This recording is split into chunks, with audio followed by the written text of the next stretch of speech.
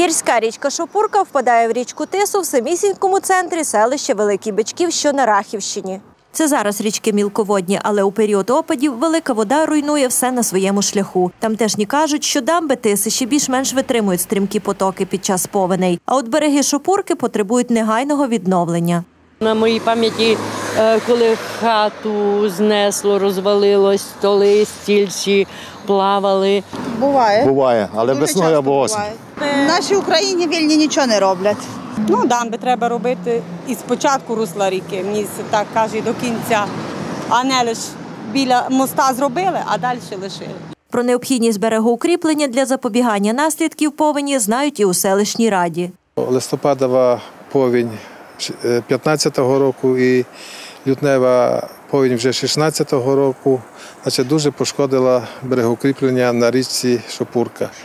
Вони справно працювали майже 50 років, а ця повінь ну, залишила беззахисними е, особливо е, частину вулиці Промислової і Малий, Малий Бичків. Тому що колись річка Шопурка е, текла більше як малим бичком, і тепер вона старається війти у старі береги. Селищний голова каже, проектно-кошторисна документація на берегоукріплення річки Шопурки виготовлена. Вартість робіт між двома підвісними мостами 49 мільйонів гривень. А це лише третя частина з необхідних коштів для вирішення всієї проблеми будівництва дамб вздовж річки у межах Великого Бичкова. Для бюджету селища це непідйомні суми.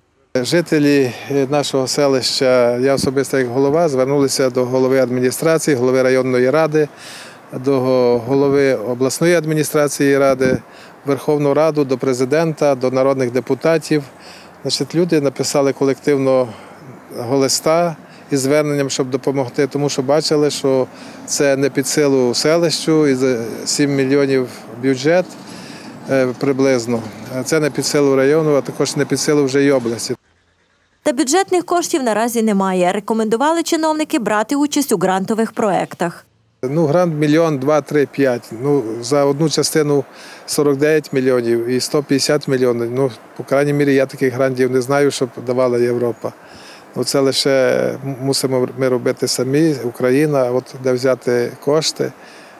Оце є основна проблема. А поки грошей не знайшли, місцеві жителі та підприємці з острахом чекають осінніх паводків. Хто має можливість, страхують майно, але це далеко не всім по кишені. Крім того, люди кажуть, зруйнований будинок за відшкодування не побудуєш.